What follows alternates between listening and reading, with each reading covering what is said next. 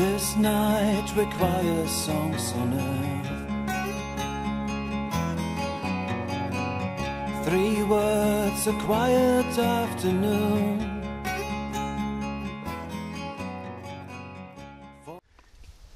Hi, eine Sache noch, habe ich auch nicht erfunden, hat mir auch ein Kumpel mal gezeigt.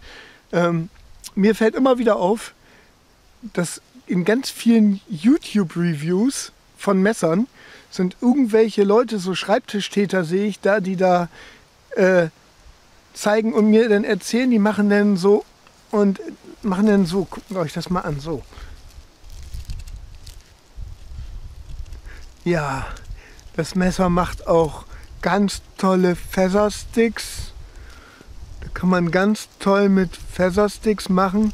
Dann guckst du dir an, hä? Magger, das sind vielleicht Erzgebirgsholzlocken für eine, für, eine, für eine Weihnachtspyramide, aber das hat nichts mit Feathersticks zu tun.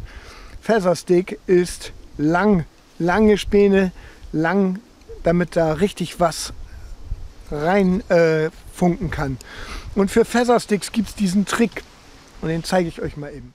Dreht sich darum, erstmal braucht ihr ein scharfes Messer, ein gutes Messer. So ein, so ein Scandi Bushcrafter geht dafür natürlich super toll. Dann legt ihr eure Klinge hier aufs Knie, kippt das Knie ab und benutzt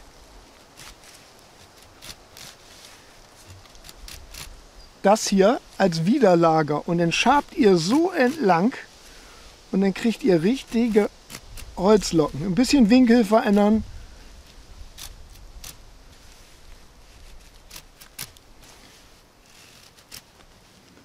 Na, jetzt will er, hakt er hier ein bisschen.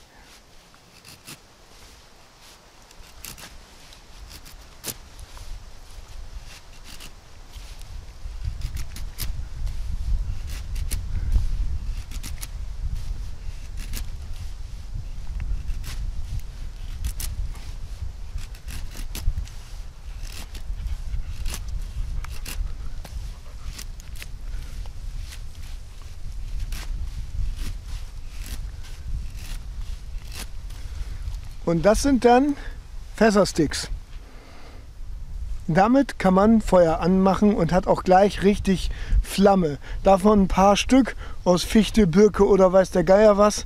Da kommt richtig was bei rum.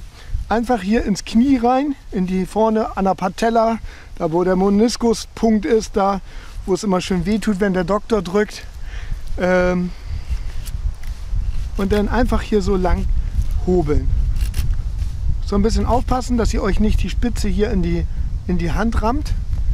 Gerade bei so einem Bushcrafter ist die meist sehr scharf und spitz. Also, deswegen nehmt keine Messerreviewer ernst, die vor euch so sitzen und sagen, der macht ganz tolle Feathersticks, kann man mit dem Messer machen. Echt spitze. Guckt mal. Tschüss.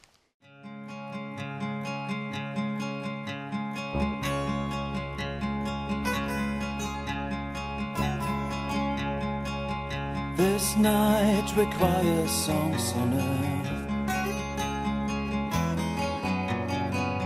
Three words, a quiet afternoon.